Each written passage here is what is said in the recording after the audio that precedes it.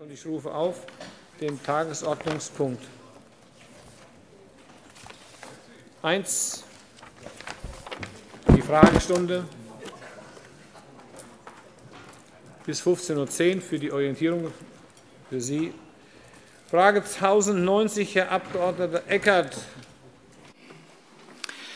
Ich frage die Landesregierung, welche Gründe gibt es für die geänderte Genehmigungspraxis bei Dauergenehmigungen für Schwerlasttransporte in Hessen?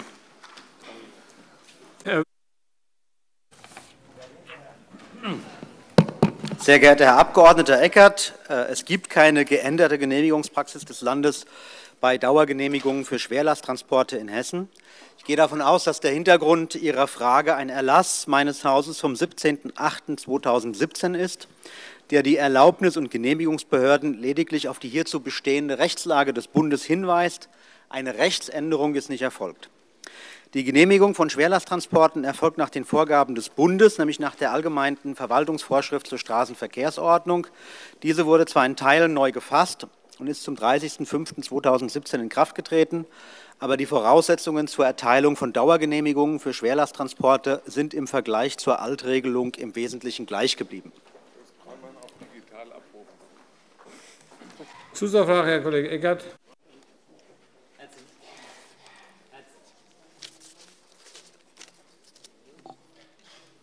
Ist es nicht an? Jetzt mal rein. Der möchte alles rein. Jetzt. Herzlichen Dank. Herr Minister, herzlichen Dank für die Antwort. In der Tat sind die Schilderungen, aber insbesondere aus dem Transportgewerbe, eine deutliche andere, dass sich für Sie erheblich was verändert hat in der Umsetzung, gerade auch im Vergleich zu Rheinland-Pfalz. Deswegen, was können Sie verändern, damit es diese Ungleichbehandlung, die jetzt im Moment besteht im Vergleich zu den Nachbarbundesländern, für die hessischen Unternehmerinnen und Unternehmer nicht mehr stattfindet? Herr Staatsminister Al-Wazir. Herr Abg. Eckert, äh, das äh, Problem war, dass im Rahmen von Dienstbesprechungen im Zusammenhang mit der neuen Verwaltungsverordnung zur Straßenverkehrsordnung bekannt geworden ist, dass die Erlaubnisbehörden äh, vielen äh, Spediteuren Dauererlaubnisse erteilt haben. Und äh, das war mit der Rechtslage, ich sage jetzt mal, eigentlich nicht vereinbar. Und äh, da Hessen Mobil darauf hinweist, dass wir gerade angesichts äh, der Situation der Autobahnbrücken, äh, der vielen Baustellen, die wir haben, weil wir ja viel sanieren und investieren, äh, Dauererlaubnisse an dieser Stelle äh, nicht angebracht sind, hat es sozusagen diese Klarstellung gegeben. Einmal erteilte Dauererlaubnisse für drei Jahre gelten bzw. galten weiterhin.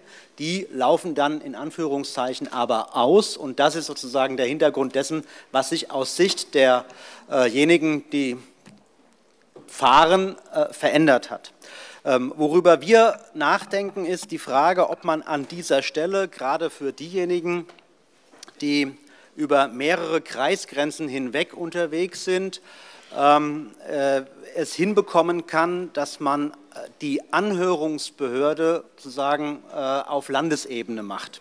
Das bedeutet, dass die dann nicht mehr bei fünf verschiedenen quasi fragen müssen, sondern an einer Stelle. Aber es bleibt weiterhin die Situation, ähm, dass man vor allem bei den schweren Transporten, das geht ja bis zu 44 Tonnen, teilweise darüber hinaus sogar äh, bis, äh, bis 60 Tonnen, dass man an dieser Stelle äh, es hinbekommt. Äh, also das wird man weiterhin so machen müssen, dass man sich die Situation jeweils anschaut, da wo es hingehen soll. Und die Erteilung von Dauererlaubnissen aus meiner Sicht, äh, jedenfalls solange wir noch nicht fertig sind mit allen Brückensanierungen, das wird noch eine gewisse Zeit dauern, ähm, nicht möglich ist. Zusatzfrage, Herr Lenders. Vielen Dank, Herr Präsident. Äh, Herr Staatsminister Al-Wazir, können Sie denn bestätigen, dass im Moment äh, rund 3.500 bis 4.000 Einzelanträge auf Schwerlasttransporte bei Hessen Mobil vorliegen, die dann ja wohl einen zeitnahen Ablauf bzw. zeitnahe Zusicherung an die Kunden äh, kaum möglich machen? Und können Sie sagen, wie Sie denn versuchen werden, diesen Stapel an Einzelanträgen dann abzuarbeiten? Herr Staatsminister Al-Wazir. Also ich kann Ihnen jetzt nicht mit Datum von heute sagen, wie viele Anträge da vorliegen. Ich kann Ihnen nur sagen, dass wir nach meiner Erinnerung vor einem Jahr äh, eine sehr, sehr lange Zeit hatten, äh, bis solche Anträge beschieden werden konnten. Äh, und das war ein sich selbst verstärkender Prozess. Man könnte auch von einem Teufelskreis reden, dass dann nämlich teilweise, weil es so lange gedauert hat, äh, Firmen, die sich auf bestimmte Fuhren beworben haben, schon mal einen Antrag gestellt haben, gar nicht wissend, ob sie am Ende das abfahren werden und wir teilweise die Situation hatten, dass nach meiner Erinnerung bis zu sieben und acht Wochen äh, gewartet werden musste. Äh, wir haben darauf reagiert, indem wir zusätzliche Stellen bei Hessen Mobil in diesem Bereich umgesetzt haben, teilweise externe äh, Dienstleister mit ins Boot genommen haben, damit dort äh, die Anträge abgearbeitet werden. Äh, teilweise sogar äh, auch das Teufelskreis, weil dann ständig angerufen wurden, waren die Mitarbeiter nur noch am Telefon und haben nicht mehr Anträge bearbeitet. Äh, teilweise auch äh, Anrufzeiten eingeschränkt wurden. Und nach meiner Erinnerung äh, ist der Berg jetzt nicht nur abgearbeitet, deutlich niedriger. Und bei unkomplizierten Anträgen gibt es sogar Genehmigungen innerhalb von ein, zwei Tagen inzwischen. Bei komplizierteren da kann es noch ein bisschen dauern, wenn man sozusagen Landkreise vor Ort fragen muss, wie die jeweilige Situation ist. Aber aus meiner Sicht, äh, es ist ja so, gelobt wird nie, geschimpft wird oft. Da seit langem keiner mehr geschimpft hat, müsste das Problem halbwegs im Griff sein. Zusatzfrage, Abg. Eckert. Herr Minister, die Schilderung von Ihnen, äh, darf ich die so verstehen, dass tatsächlich die Veränderungen in der Stellen, äh, Stellenaufbau von Hessen Mobil ein Grund dafür sind, dass die Genehmigungen, die beantragt werden, zu spät oder mit unzu, un, unklaren Zeiträumen jeweils erst genehmigt werden. Ist das der Hintergrund, warum Sie externe Dienstleister einstellen mussten? Herr Staatsminister Al-Wazir. Herr Eckert, der Hintergrund ist, dass wir eine wunderbar laufende Wirtschaft haben, eine wunderbar laufende Baukonjunktur und deswegen viel mehr transportiert wird. Und wenn mehr transportiert wird, dann werden mehr Anträge gestellt. Und das führt dann dazu, dass sich teilweise die Bearbeitungszeit verlängert. Und das wiederum führt dazu, dass äh, in Anführungszeichen Proforma-Anträge gestellt werden, weil die Leute, wenn sie sich auf irgendwas bewerben, sicher sein wollen, dass wenn der Zuschlag kommt, sie auch fahren können. Und so hat sich das aufgebaut und jetzt haben wir es wieder abgebaut. Die Frage ist nicht mehr zulässig. Dann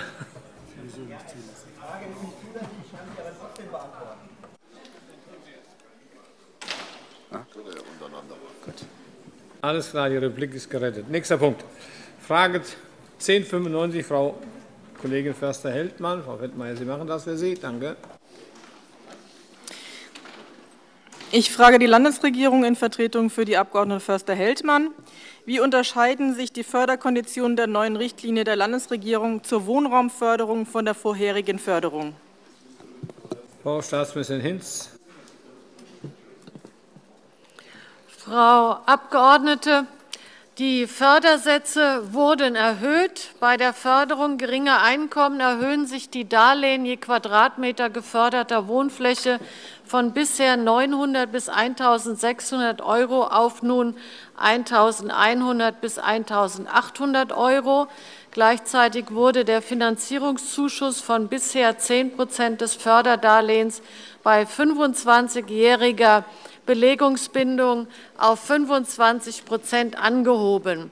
Bei der Förderung mittlerer Einkommen erhöhen sich die Darlehen je Quadratmeter von bisher 400 bis 1.100 Euro auf nun 600 bis 1.300 Euro.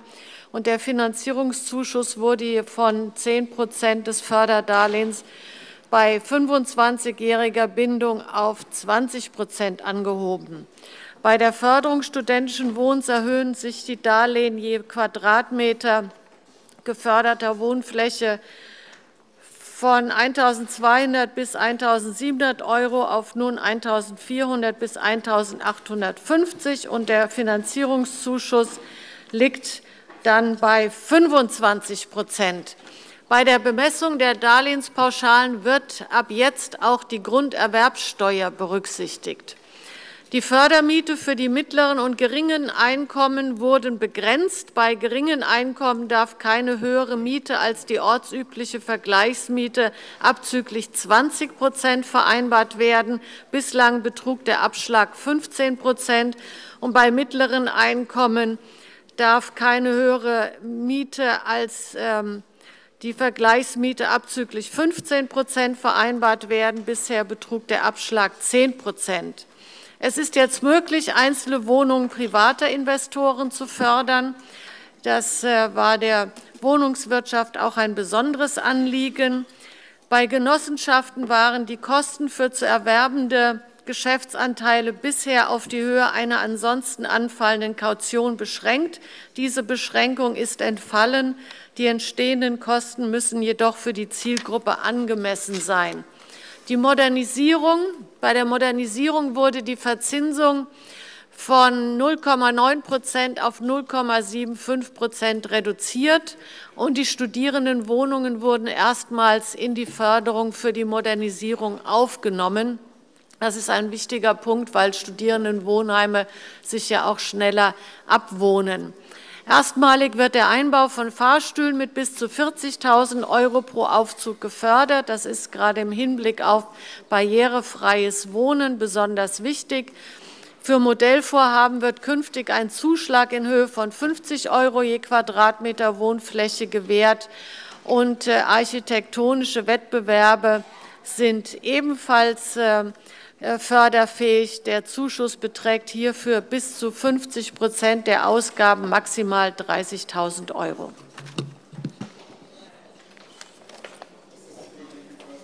Zusatzfrage, Herr Kollege Siebel. Frau Staatsministerin, was hat Sie daran gehindert, in den Förderrichtlinien, die Sie eben äh, vorgetragen haben, zu einer regionalen Ausdifferenzierung der Einkommensgrenzen zu kommen, was es ermöglicht hätte, die Einkommensgrenzen für die Metropolen, beispielsweise für Frankfurt, entsprechend denen, wie sie in Hamburg und Berlin üblich sind, anzuheben? Frau Staatsministerin Hinz. Die Einkommensgrenzen sind bei uns äh, gesetzlich festgelegt. Das ist mit einer Verordnung nicht zu ändern, wie Sie wissen, Herr Abg. Siebel. Das äh, Gesetz zur sozialen Wohnraumförderung wird jetzt gerade evaluiert.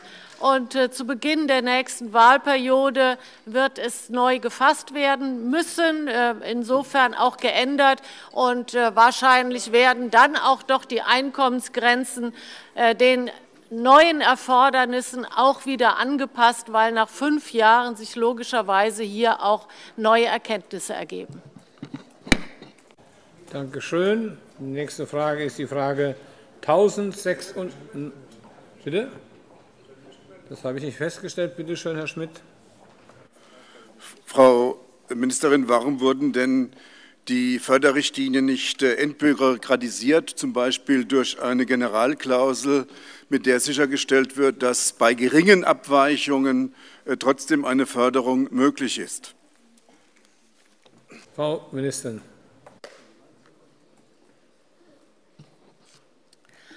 Herr Abgeordneter, Herr Abg. Schmidt, diese Diskussion haben wir bereits im Ausschuss diskutiert. Es ist sichergestellt, dass bei geringen Abweichungen die Förderrichtlinien ebenfalls zum Tragen kommen.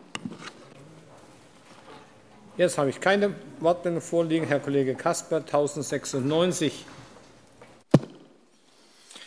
Ich frage die Landesregierung, wurde ihr gegenüber bereits konkretes Interesse am neu aufgelegten Förderprogramm für die Aufstellung von Ladesäulen für Elektroautos auf Betriebsgelände bekundet, in dessen Rahmen 40 Prozent der Investitionskosten erstattet werden und das einen Gesamtumfang von 3,5 Millionen Euro aufweist? Herr Staatsminister Al-Wazir.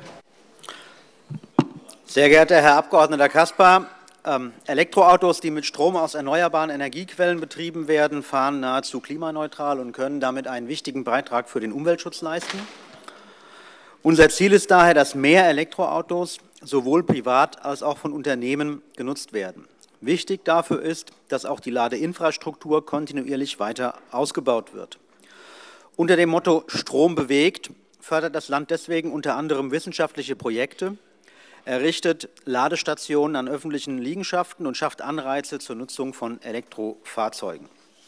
Nach Untersuchungen der nationalen Plattform Elektromobilität finden 85 Prozent aller Ladevorgänge allerdings zu Hause oder am Arbeitsplatz statt. Hier setzt unser neues Förderprogramm an, denn damit können jetzt auch Ladesäulen auf zugangsbeschränkten Firmengeländen gefördert werden. Das zweijährige Programm hat, wie Sie in Ihrer Frage schon darstellten, einen finanziellen Umfang von dreieinhalb Millionen Euro, von denen anderthalb Millionen Euro in diesem und zwei Millionen Euro im nächsten Jahr zur Verfügung stehen und 40 Prozent der Ausgaben vom Land gefördert werden. Seit Beginn des Förderaufrufs im Juni 2018 gab es insgesamt rund 90 Anfragen. Bis Ende August wurden bereits 17 Anträge zur Förderung für Ladesäulen gestellt, die noch im Jahr 2018 errichtet werden. Damit werden 117 Normalladepunkte, das sind Ladepunkte mit einer Ladeleistung bis 22 Kilowatt, und 20 Schnellladepunkte, das sind Ladepunkte mit einer Ladeleistung von 50 Kilowatt, noch in diesem Jahr errichtet. Von den 1,5 Millionen Euro, die im Jahr 2018 zur Verfügung stehen, wurde mit den genannten 17 Anträgen bereits rund 800.000 Euro gebunden. Weitere Anträge sind bereits angekündigt. Rund ein Viertel der Anfragen hat die Einreichung von Förderanträgen für 2019 angekündigt. Angesichts des großen Interesses und der für die kurze Laufzeit hohen Zahl an Anträgen ist daher auch für das kommende Jahr mit einer guten Auslastung des Förderprogramms zu rechnen. Keine weiteren Fragen? Dann kommen wir zur Frage. Dann kommen wir zur Frage 1097, Herr Abg. Merz. Die Landesregierung. Welche Kosten sind dem Land Hessen durch die Einführung, Durchführung und Abwicklung von G8 in Hessen entstanden? Herr Staatsminister Prof. Dr. Lorz. Herr Abg. Merz, durch die Einführung, Durchführung und Abwicklung von G8 in Hessen sind in der Tat Personalkosten eingespart worden. Denn im Abgleich mit G9 entstanden in der Einführungsphase von G8 äh, zunächst Personalmehrkosten von 252,2 Millionen Euro für die Abdeckung des Grundunterrichts in den Schuljahren 2004, 2005 bis 2013, 2014. Nach Abbau der Doppeljahrgänge in der gymnasialen Oberstufe wurden hingegen bis einschließlich des laufenden Schuljahres Einsparungen im Umfang von 256,9 Millionen Euro erzielt. Somit weist die Gesamtbilanz bis zum Schuljahr 2018-19 Einsparungen für das Land Hessen in Höhe von ca. 4,4 Millionen Euro aus. Zusatzfrage, Herr Kollege Merz. Erstmal herzlichen Dank für die Information, aber ich hatte nicht nur nach den Personalkosten gefragt, Herr Minister, sondern insgesamt nach Kosten. Ich gehe davon aus, dass auch im Verwaltungsvollzug und im sächlichen Bereich Kosten entstanden sind. Herr Staatsminister Prof. Dr. Lorz. Das mag sein, Herr Abgeordneter Merz, aber sie sind auf jeden Fall im Nachhinein nicht mehr zu quantifizieren. Äh, was die Verwaltungskosten anbetrifft, ähm, so wurden ja kein Buch geführt ähm, nach dem Motto, wie viele Stunden jetzt Verwaltungsmitarbeiter ähm, neben sonstigen Arbeiten spezifisch mit der Frage G8, äh, G9 beschäftigt waren. Deswegen ist das einfach im Nachhinein nicht nachvollziehbar.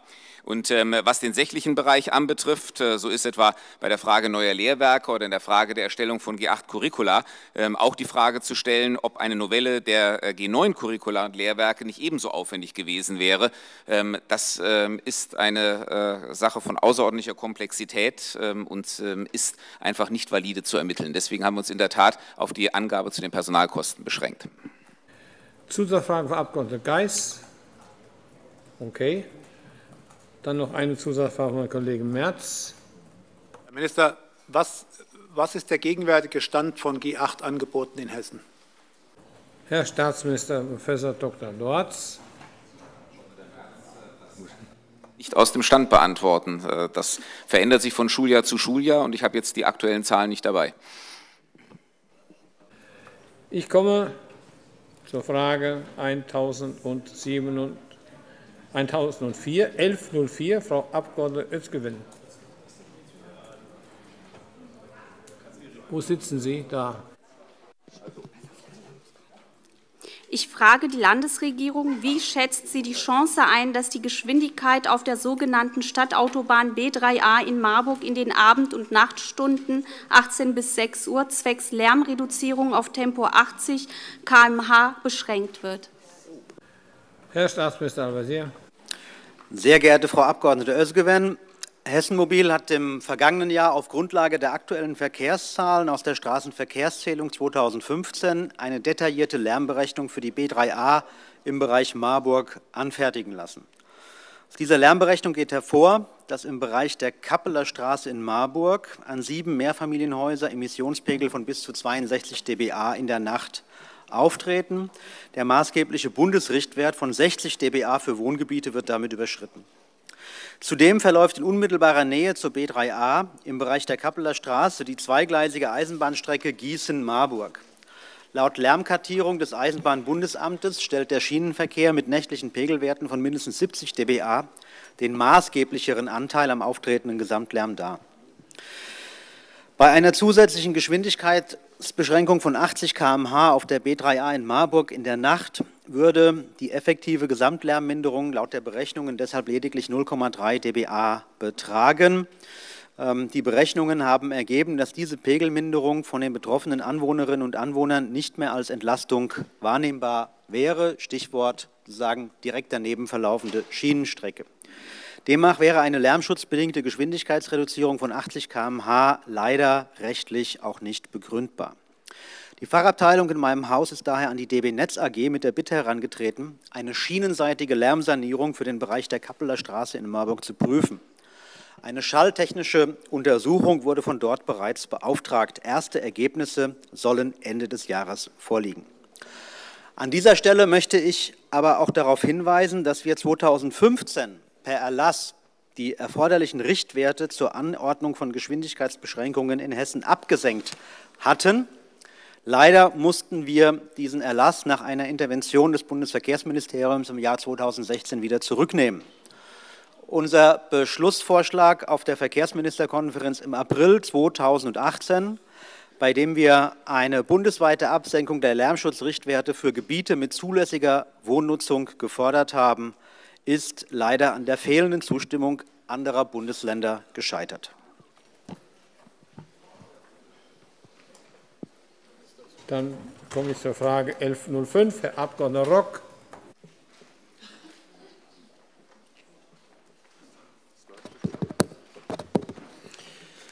Ich, ich frage die Landesregierung, ist es richtig, dass sich Bürger an zahlreichen Windkraftstandorten seit Jahren über Lärmbelastung beschweren und die Landesregierung seit mindestens drei Jahren davon Kenntnis hat, dass in der Realität Lärmemissionen vielfach höher sind, als in den Genehmigungsverfahren unterstellt wurde? Frau Ministerin Hinz.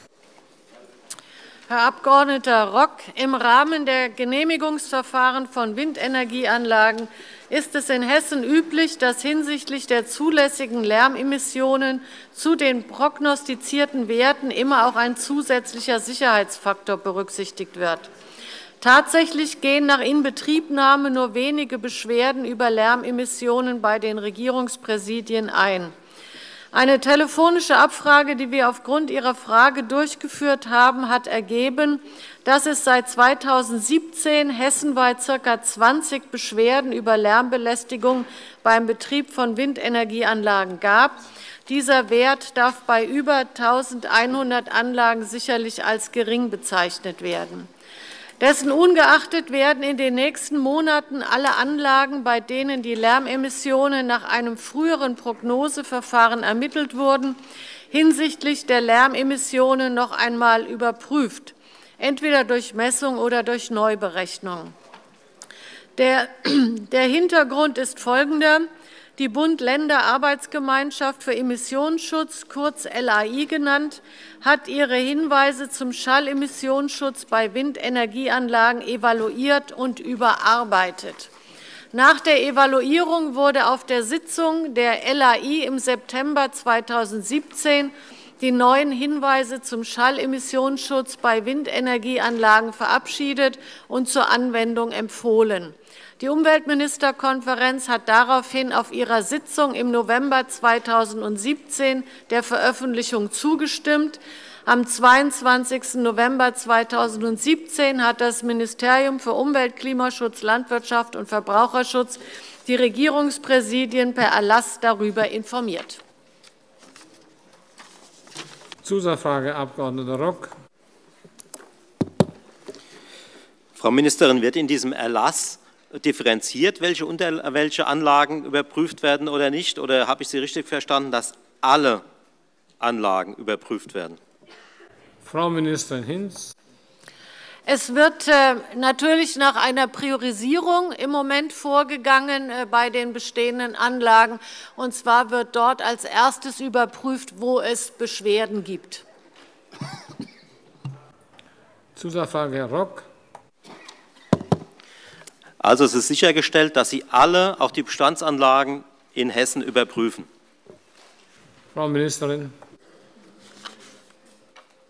Also die Bestandsanlagen werden entweder überprüft oder es werden neue Berechnungen gemacht und die neuen Anlagen werden sowieso auf Grundlage dieses äh, Erlasses und der Erkenntnisse der LAI sowieso neu berechnet.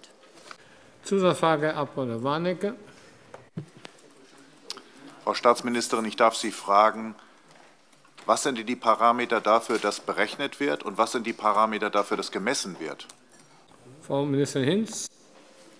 Ach du liebe Zeit, Herr Abgeordneter. Ähm, das glaube ich, muss ich, das glaube ich, muss ich Ihnen nachreichen, weil ich bin nicht die zuständige Sachbearbeiterin dafür. Ich kann Ihnen nur erklären, was der Unterschied ist zwischen dem alten und dem neuen Prognoseverfahren, wenn Sie das interessiert. Das liegt, das liegt nämlich daran, dass aufgrund der äh, immer höher werdenden Anlagen die Nabenhöhe sind ja bei den neuen Anlagen ca. 150 Meter, die Bodendämpfung nicht mehr eingerechnet wird und eine frequenzabhängige Berechnung erforderlich ist. Und insofern gibt es äh, neue äh, Prognosen, ähm, was die Bodendämpfung angeht, und die alten Anlagen werden daraufhin überprüft. Und im Wesentlichen wird es so sein, dass die hohen Anlagen, die schon im Bestand sind, ähm, eventuell neue Ergebnisse zeitigen. Aber es ist so, dass die Behörden äh, mitgeteilt haben uns, dass es falls es zu Überschreitungen kommt, äh, vor allen Dingen in der Nachtzeit, es ausreichen wird, einzelne Anlagen leistungs- und schallreduziert zu betreiben. Eine Abschaltung der Anlagen ist in der Regel nicht erforderlich, so nach Aussage der Fachbehörden. Und äh, am Tage äh, beträgt ja die, der Emissionsrichtwert im allgemeinen Wohngebiet 55 dBA. Ähm, da sagen die Fachbehörden, dass da voraussichtlich überhaupt keine Konsequenzen notwendig sind. Ich habe noch eine Zusatzfrage von Fremden, Anführungszeichen. Ah, der Müller war früher als Sie, tut mir leid. Herr Abg. Müller, Zusatzfrage? Nett. Dann hat der Herr Wiegel falsch geguckt, dann dürfen Sie. Okay. Frau Ministerin, äh, können Sie uns den Aufschluss darüber geben, äh, ob es einen regionalen Schwerpunkt für die Beschwerden gibt oder sind die normal verteilt über Hessen? Frau Ministerin Hinz. Ähm, die Information liegt mir leider nicht vor. Die könnte ich Ihnen auch nachreichen schriftlich. Wir kommen zur Frage 1107. Entschuldigung, Herr Kollege Reul. Wo ist er? Welches sind die zehn Kommunen, die seit 2010 in besonderer Weise finanziell, absolut und pro Einwohner von den Entschuldungs- und Investitionsprogrammen der Landesregierung profitiert haben? Herr Finanzminister Dr. Schäfer. Herr Abg. Reul, die Frage finanziell äh, entsprechend profitiert, in der Tat ist zu differenzieren äh, in absoluten Beträgen als auch in der Fragestellung äh, pro Einwohner.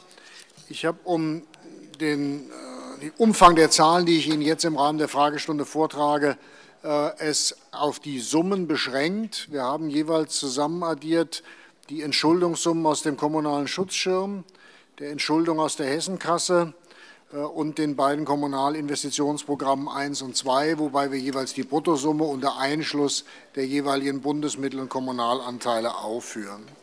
Damit ist der Hauptprofiteur die Stadt Offenbach. Die Herren Al-Wazir und Grüttner wird das besonders freuen, mit einer Gesamtsumme von 800 das notiert jetzt das Protokoll, Beifall, ein einzelner Beifall aus Frankfurt. Das ist 828,7 äh, Millionen Euro. Platz 2, ebenfalls in der Region der Landkreis Offenbach mit 761,7 Millionen Euro. Platz 3 die Stadt Darmstadt 482,1 Millionen Euro. Platz 4, Kollege Weiß wird sich freuen, der Rheingau-Taunus-Kreis 467,4 Millionen Euro. Der Innenminister freut sich mit. Platz 5, der Landkreis Groß-Gerau 415,5. Platz 6, die Stadt Kassel 358 Millionen Euro. Platz 7, die Stadt Rüsselsheim 337,4. Platz 8, der Main-Kinzig-Kreis mit 335,7. Platz 9, der Landkreis Gießen 277,7 und Platz 10 der Landkreis Kassel knapp dahinter mit 274,3. Wenn Sie das auf die Einwohner herunterrechnen, ergibt sich ein etwas differenzierteres Bild. Ungeschlagener Spitzenreiter ist weiterhin die Stadt Offenbach mit 6.651 Euro pro Einwohner. Das gibt es Kausalzusammenhänge zwischen besonders Pleite und den entsprechenden Beträgen, in der Tat, Herr Kollege Al-Wazir. Auf Platz 2 folgt dann die Stadt Bad Karlshafen. Bad Karlshafen mit 6.126 Euro je Einwohner. Platz 3 die Stadt Rüsselsheim mit 5.270 Euro je Einwohner. Nummer 4 Stadtbad Soden-Allendorf mit 4.826 Euro. Platz 5 die Stadt Spangenberg, 3.887 Euro je Einwohner. Platz 6 die Stadt Trendelburg mit 3.816 Euro je Einwohner. Die Gemeinde Neuental folgt auf Platz 7 mit 3.538 Euro je Einwohner. Auf Platz 8 der Landkreis Offenbach mit 3.247 Platz 9 die Gemeinde Löhnberg mit 3.237 und auf Platz 10 die Stadt Darmstadt mit 3.062 Euro je Einwohner. Wünscht dazu noch jemand eine Zusatzfrage? Okay, das war's dann. Wir kommen zur 1108, Frau Kollegin Hartmann. Ich frage die Landesregierung, welche Schritte sind eingeleitet, um zeitnah die Dezernentenstelle für berufliche Schulen im staatlichen Schulamt Bergstraße Odenwald mit einer fachadäquat qualifizierten Person zu besetzen? Herr Kultusminister. Frau Abg. Hartmann, für die, Benetzung, äh, für die Besetzung der genannten Stelle waren und sind, wie bei allen Stellen, verschiedene Optionen denkbar. Insbesondere kommt da immer neben oder statt einer Ausschreibung eine sogenannte Personallenkungsmaßnahme in Frage, also quasi eine interne Verschiebung von Personal. Äh, das wurde auch im vorliegenden Fall abgeprüft, ähm, abgestimmt und äh, zwischenzeitlich eine Lösung über den Kooperationsverbund äh, in die Wege geleitet. Diese Lösung sieht vor, dass eine erfahrene Aufsichtsbeamtin eines benachbarten Schulamtes im Rahmen einer Teilabordnung die vier beruflichen Schulen des staatlichen Schulamtes Heppenheim mitbeaufsichtigt. Sie wird durch die auch bislang schon ans Schulamt abgeordnete stellvertretende Schulleiterin und weitere abgeordnete Berufsschullehrkräfte unterstützt. Im Übrigen war die Aufgabenwahrnehmung im Bereich der Berufsschulaufsicht des Schulamtes Heppenheim auch vor dieser Personalmaßnahme durchgängig abgesichert, denn hierfür standen in unterschiedlichen Umfängen eine Dezernentin, die abgeordnete stellvertretende Schulleiterin sowie zwei abgeordnete Berufsschullehrkräfte zur Verfügung.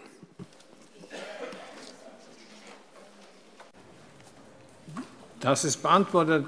Ich darf kurz unterbrechen und sagen, dass, auf, dass heute die Frau Staatsministerin Hinz als die zuständige Landwirtschaftsministerin für die Landesregierung die Erntekrone der Landjugend erhalten hat und das, das Land, der Landtag auch, die steht unten. Und die Landjugend ist auf der Tribüne. Herzlich willkommen der Landjugend Hessen.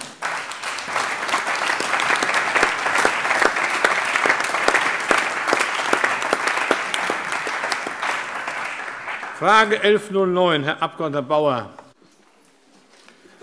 Ich frage die Landesregierung, welche Resonanz gibt es auf das Schwimmbadinvestitionsprogramm SWIM? Herr Minister des Innern und für Sport.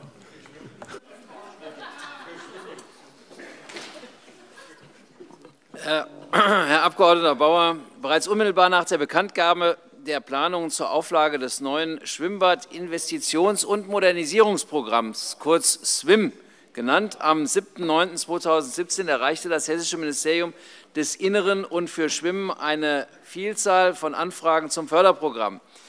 Mit Veröffentlichung der Förderrichtlinien am 29.05.2018 konnte abermals ein Anstieg an Anfragen verzeichnet werden. Mit Bezug auf die Förderrichtlinien werden inzwischen detaillierte Fragen zur Antragsberechtigung und dem Antragsverfahren gestellt. Mit Stand 31.08.2018 liegen inzwischen 41 konkrete Anmeldungen zur Aufnahme in das Förderprogramm vor. Diese beziehen sich auf die beabsichtigte, auf die beabsichtigte Maßnahme für 2018 bis 2022. Mit jeweils fünf Anmeldungen stammen bisher die meisten Anmeldungen aus dem Main-Kinzig-Kreis und dem Werra-Meißner-Kreis. Die angemeldeten Vorhaben unterscheiden sich inhaltlich und insbesondere hinsichtlich des geplanten Investitionsvolumens erheblich von rund 30.000 Euro für eine Sanierungsmaßnahme bis hin zu rund 43 Millionen Euro ähm, für eine Neubaumaßnahme bei den geschätzten Gesamtkosten. Für das neu aufgelegte Förderprogramm für Hallen und Freibäder lässt sich schon jetzt eine äußerst hohe Resonanz feststellen. Die angemeldeten Vorhaben umfassen insgesamt ein Investitionsvolumen von rund 144,7 Millionen Euro. Hierbei wurden bereits jetzt Landeszuwendungen von ähm, knapp 25 Millionen Euro beantragt. Aufgrund der bekannten Voranfragen ist mit weiteren Anmeldungen zu rechnen. Herr Kollege Bauer, Zusatzfrage. Herr Minister, können Sie aus Ihren verfügbaren Unterlagen entnehmen oder mir gegebenenfalls nachreichen, ob denn der Kreis Bergstraße schon ein entsprechendes Projekt gemeldet hat? Herr Sportminister. Ähm, Einzelprojekte habe ich hier nicht dabei, aber die kann ich natürlich nachreichen. Zusatzfrage, Herr Kollege Warnecke. Äh, sehr geehrter Herr Minister, mit welchem Volumen rechnen Sie dann am Ende Sie haben 147,5 Millionen genannt, die im Moment wohl offenkundig in der Beantragung sind. Wie viel schätzen Sie dann, werden nachher am Ende von Ihnen bezuschusst werden können? Gibt es da irgendeine Zahl, die Sie benennen können? Herr Minister. Die knapp 150 Millionen sind das Gesamtvolumen der, der Maßnahmen, die jetzt im Moment ange, ähm, angemeldet sind. Ähm, jetzt muss man gucken, wie das, das Fördervolumen sozusagen am Ende aussieht. Das ist jetzt im Moment bei 24. Ähm, wir haben insgesamt 50 Millionen im Topf. Ähm, ich sage jetzt mal, das ist für die nächsten ähm, vier Jahre. Ab 2019 kann, auch, kann Geld fließen. Wir sind ja 2018 jetzt noch in der entsprechenden Beantragung, Priorisierung. Ich gehe davon aus, dass die 50 Millionen am Ende ausgeschöpft werden. Und es obliegt dann dem Hessischen Landtag zu überlegen, ob er noch weitere Überlegungen dazu treffen muss. Aber aber ich gehe davon aus, dass die 50 Millionen Euro, die wir angelegt haben, dass die in der Tat auch ausgeschöpft werden. Zusatzfrage, Frau Kollegin Hartmann. Frage die Landesregierung, können von dem SWIM-Programm auch ehrenamtlich geführte Trägervereine profitieren?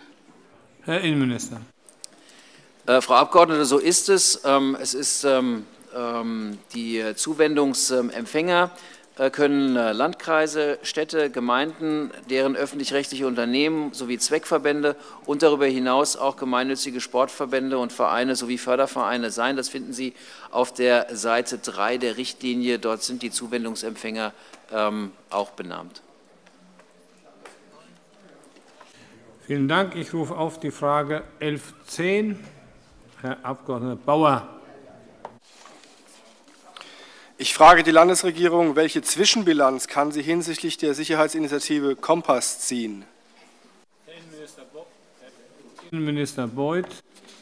Herr Abgeordneter, nach Einführung der Präventionsinitiative Kompass am 6. Dezember 2017 in den Modellkommunen Bad Homburg, ähm, Schwalbach am Taunus, Hanau und Maintal wurde durch die Kompassberater der zuständigen Polizeipräsidien in enger Abstimmung mit den jeweiligen Kommunalverantwortlichen bereits erste Maßnahmen initiiert. Nach einer erfolgreichen Pilotphase entschied das Hessische Ministerium des Innern Ende Mai 2018, das Programm allen hessischen Kommunen anzubieten und schaffte dafür zusätzliche Stellen, um die Präventionsarbeit der Polizei im Rahmen von Kompass weiter zu stärken. Bereits heute nehmen sieben Städte und Gemeinden in Hessen an Kompass teil, um die Sicherheit und äh, vor allen Dingen auch das Sicherheitsgefühl der Bürgerinnen und Bürger in den Kommunen zu stärken. 17 neue Kommunen haben bereits eine Zusage erhalten und werden zeitnah in das Programm aufgenommen.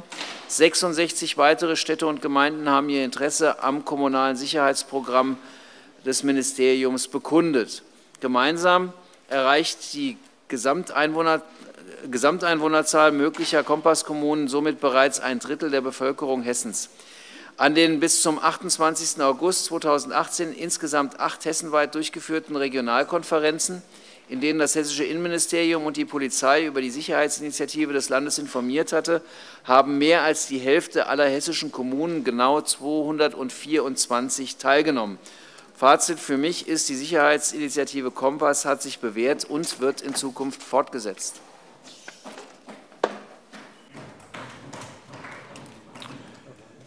Zusatzfrage, Herr Abg.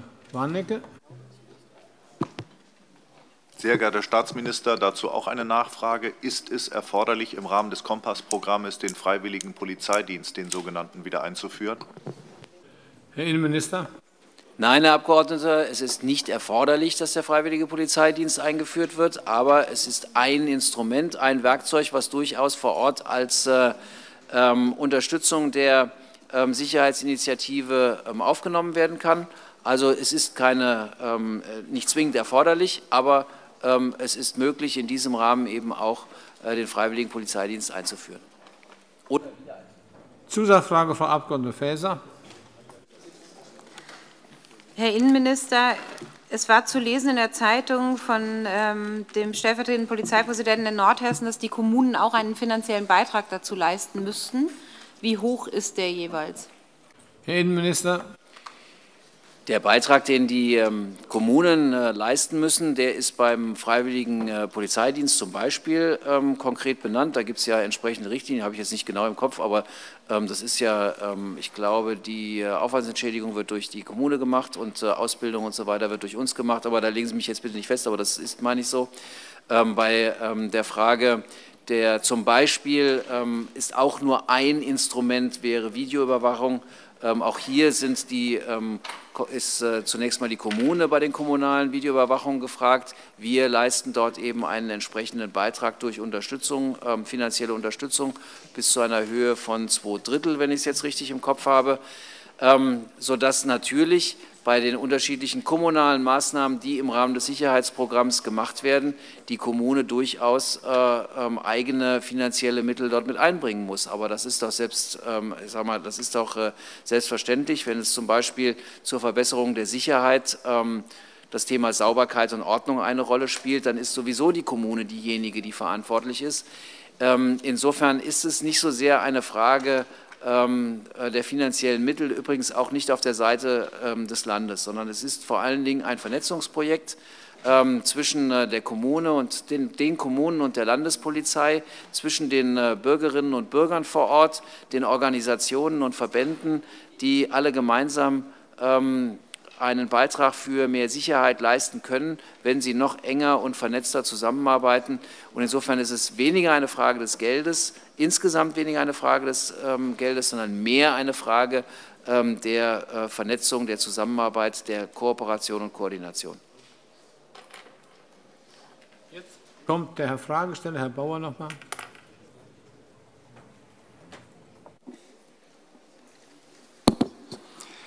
Herr Innenminister, gibt es zu diesem bundesweit einmaligen Präventionsprojekt Made in Hessen mittlerweile Anfragen aus anderen Bundesländern, äh, wie das ganze Konzept aufgesetzt ist und vielleicht Interesse, das auch nachzuahmen?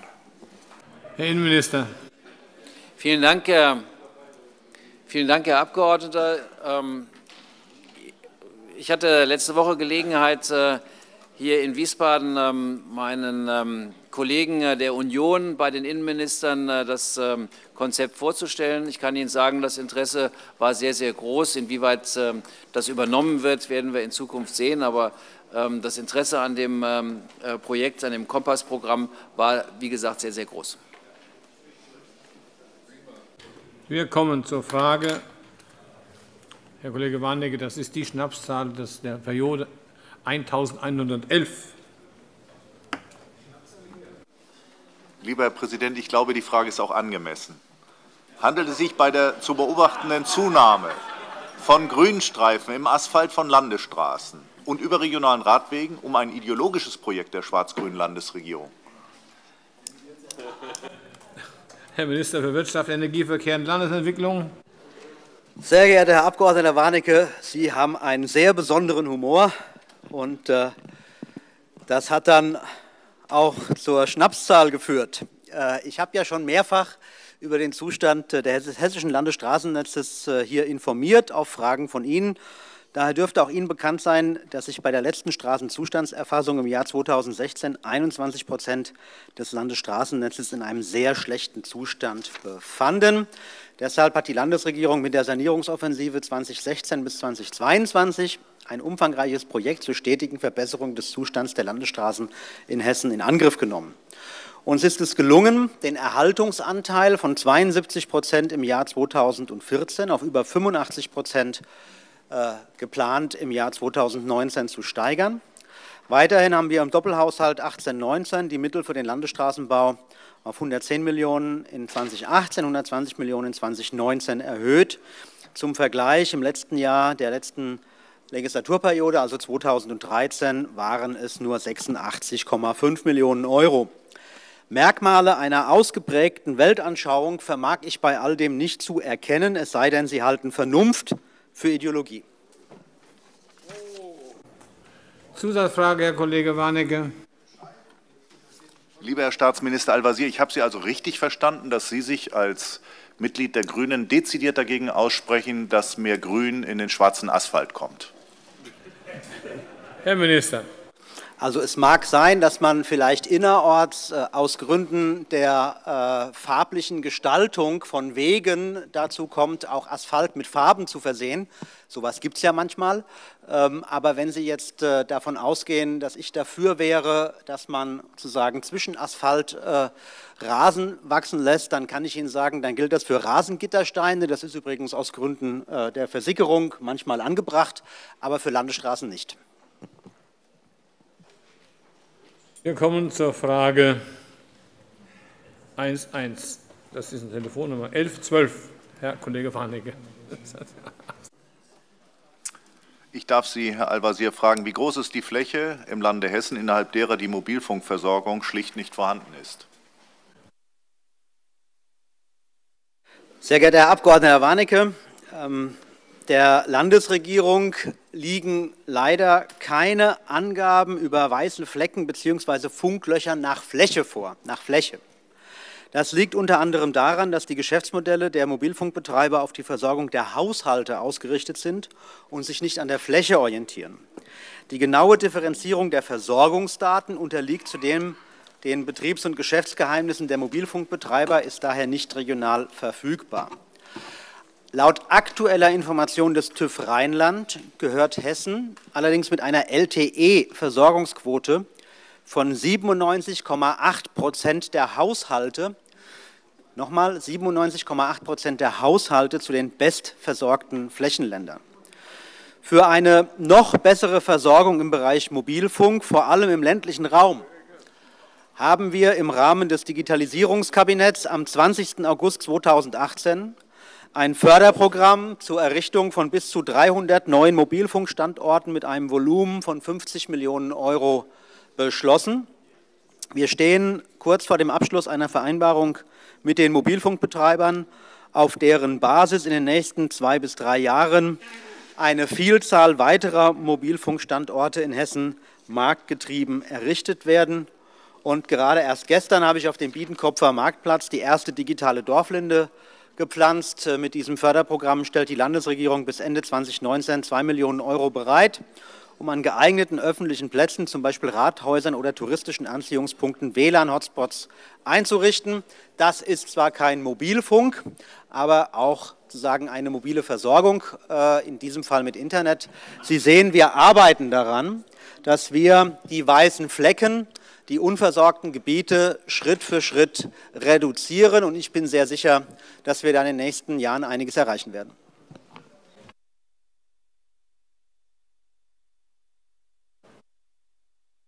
Zusatz, Kollege Warnecke.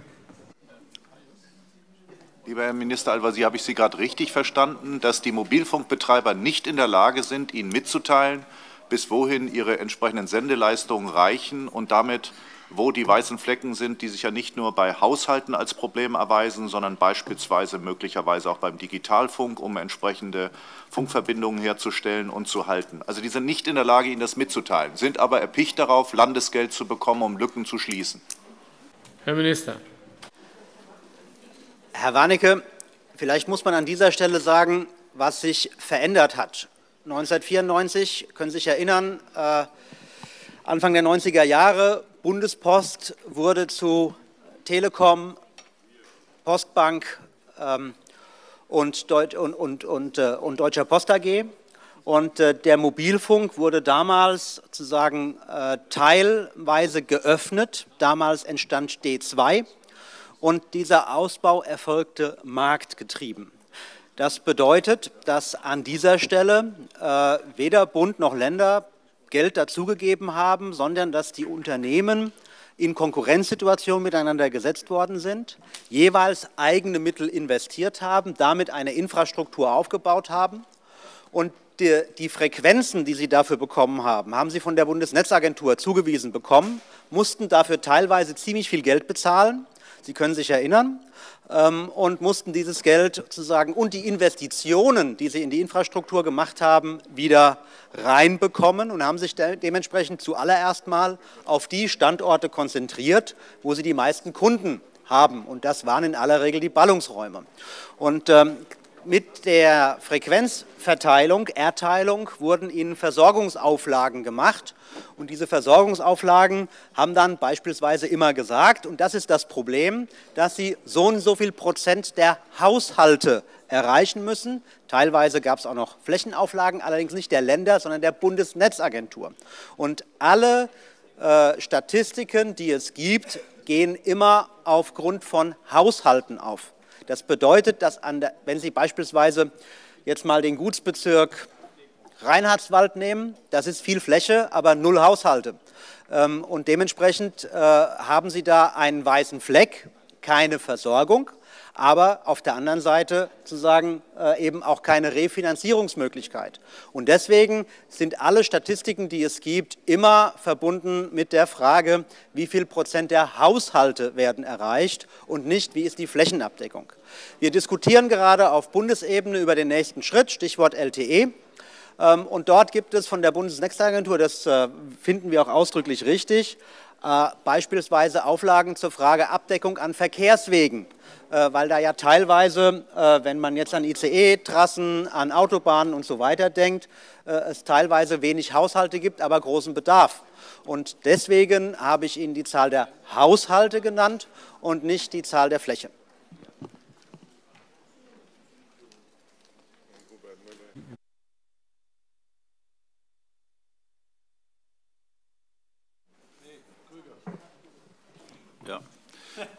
Herr Minister, Sie haben ja gerade selber auf das Thema Verkehrswege abgehoben, die ja durch die Fläche gehen und entlang derer ja nicht besonders viele Haushalte sind, insbesondere wenn es sich dabei zum Beispiel um die A5, die durch viele Waldgebiete geht, äh, handelt.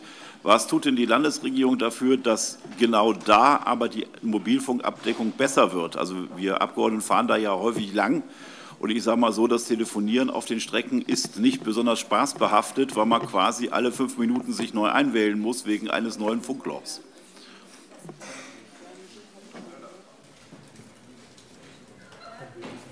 Augenblick.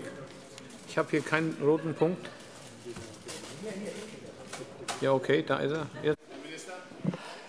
Herr Abgeordneter Grüger, ähm, da muss man natürlich aufpassen, dass man am Ende nicht Steuermittel dafür ausgibt, dass man die Versorgungsauflagen, die die Mobilfunkbetreiber sowieso haben, am Ende sozusagen äh, mit Mitteln bezahlt, die dafür eigentlich nicht vorgesehen sind. Die Versorgungsauflagen der Bundesnetzagentur beziehen sich auch auf die Verkehrswege.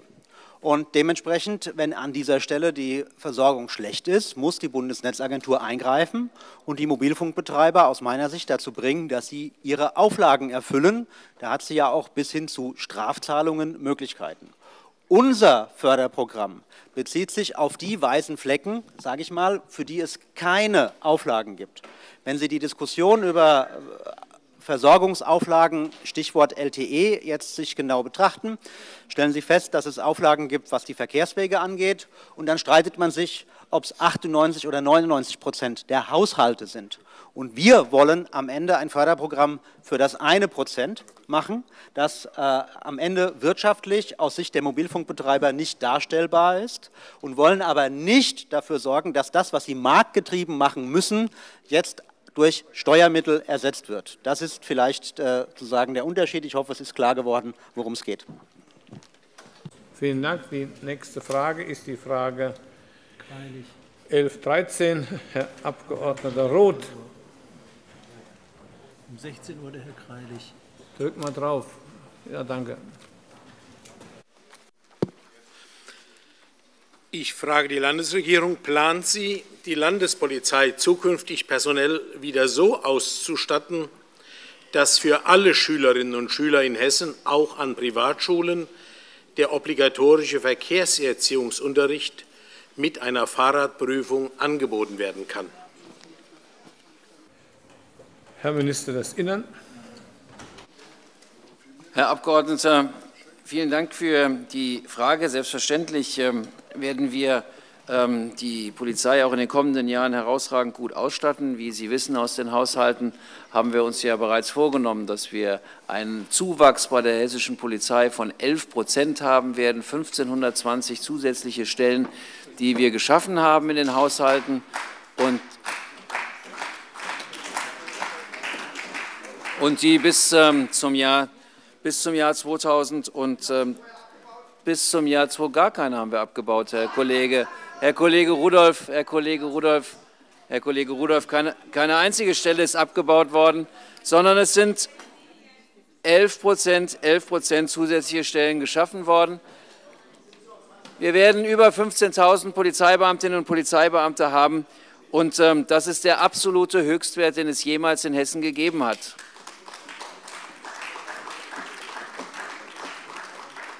Und damit werden wir selbstverständlich auch, Herr Abg. Roth, in der Lage sein, äh, wie in der Vergangenheit auch, den Verkehrserziehungsunterricht ähm, entsprechend anzubieten. Schule und Polizei arbeiten bei der Verkehrserziehung ressortübergreifend zusammen. Die theoretischen Grundlagen werden im Sachunterricht durch die schulischen Lehrkräfte vermittelt.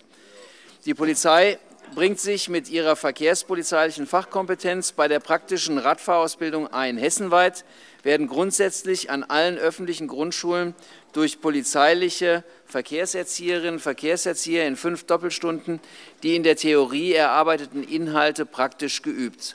Aber, Sie haben richtig gehört, Herr Kollege Roth, in den öffentlichen Grundschulen. Ähm, Voraussetzung hierfür ist, dass die Kinder das Fahrradfahren beherrschen. Auf Anfrage unterstützt die Polizei selbstverständlich auch private Schulen bei der praktischen Radfahrausbildung. Für die praktische Radfahrausbildung wird wie bisher polizeiliches Personal bereitgestellt. Durch ähm, nicht vorhersehbare Gründe wie beispielsweise Krankheit, Witterung oder ähnliches kann es jedoch vereinzelt vorkommen, dass die praktische Verkehrserziehung nur eingeschränkt durchgeführt werden kann. Generell gilt allerdings, dass wir ähm, auch in Zukunft dafür Sorge tragen werden, dass die Verkehrserziehung entsprechend stattfindet.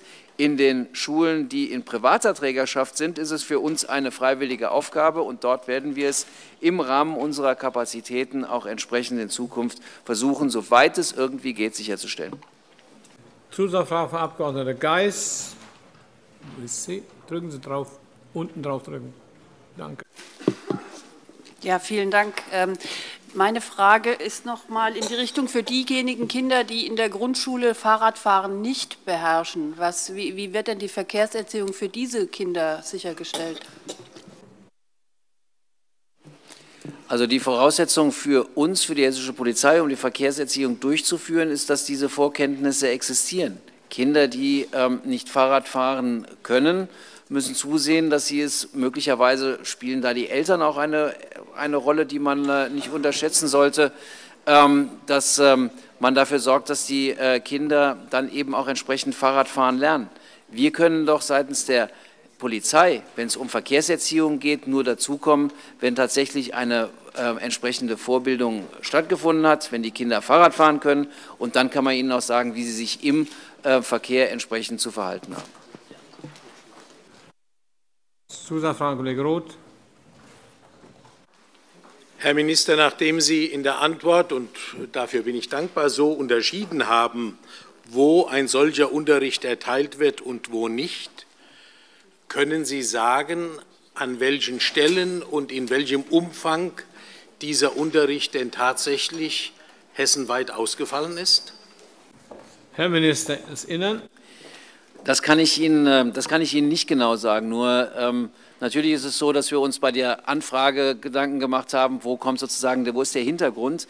Wir haben ähm, das ähm, entsprechend recherchiert und wir haben ähm, dann festgestellt, dass die, ähm, ähm, dass die Schulen, die in privater Trägerschaft von den Kapazitätsproblemen betroffen waren, den Unterricht selbst durchgeführt haben und die Abnahme der Prüfung dann ähm, ist durch die Polizei erfolgt. Also ähm, insofern ähm, haben wir uns dort mit den privaten Trägern oder mit den Schulen in privater Trägerschaft zumindest mal hier in der Umgebung, wo wir das halt eben äh, ähm, wahrgenommen haben, entsprechend arrangiert. Vielen Dank. Das war die Fragestunde, meine Damen und Herren. Was mit dem Rest geschieht, werden wir sehen.